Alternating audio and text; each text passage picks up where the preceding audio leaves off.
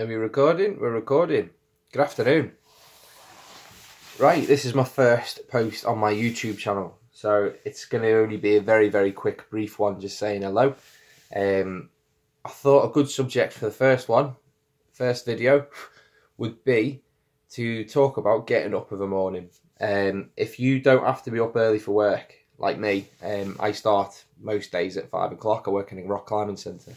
Um, if I don't have anything to get up for, it seems very, very pointless to just get up.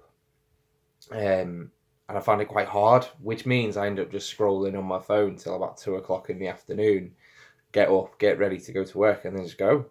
And it seems um, to just waste my day. So this morning I tried something a little bit different, and I got up out of bed at eight a.m. Um, anyone that knows me knows that's that's like next to impossible, especially if I'm not in work till five. Um, it helped because yesterday we adopted a new cat, so that kind of drove me to get out of bed.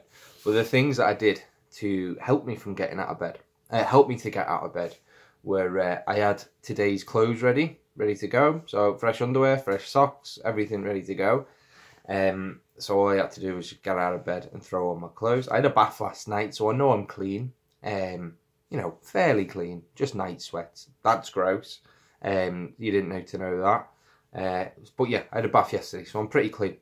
Um, threw me clothes, that was just ready to go. And then I had a dead easy, really simple breakfast, which was just a bowl of Nesquik with some milk.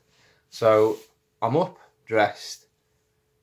I've eaten breakfast and it's all before nine o'clock, so absolutely buzzing. So that's my little tips for um, starting your day right. Just put some music on, have the clothes ready for you for the night before just get up, get dressed, open the curtains.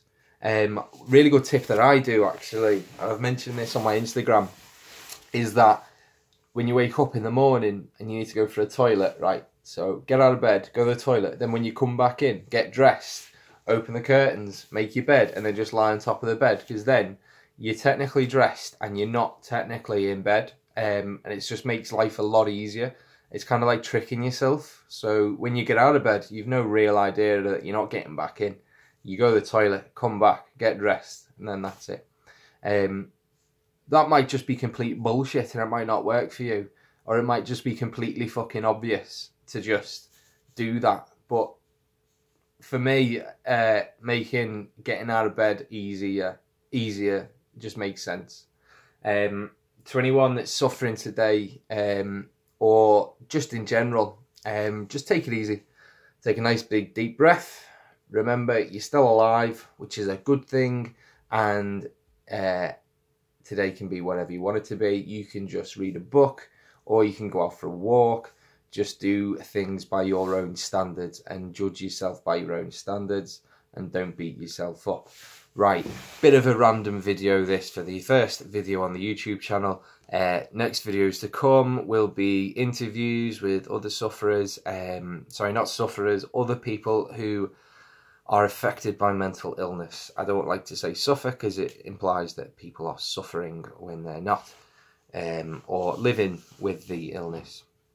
So yeah, to come up, we'll have videos with more structure and we'll have some interviews and things like that.